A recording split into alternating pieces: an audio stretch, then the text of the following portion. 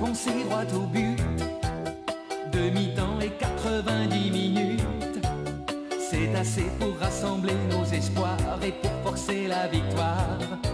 La victoire, quand on a le ballon au bout du pied, quand on a trouvé le bon équipier, une passe, un crochet et on a marqué. Tam, ils sont toujours en forme. Tom Olivier, sont super entraînés. Tom Olivier, ils sont venus pour gagner. Olive et Tom, ils sont toujours en forme. Tom Olivier, sont super entraînés. Tom Olivier, ils sont venus pour gagner, car il faut battre le goal. Olive et Tom, ils sont toujours en forme.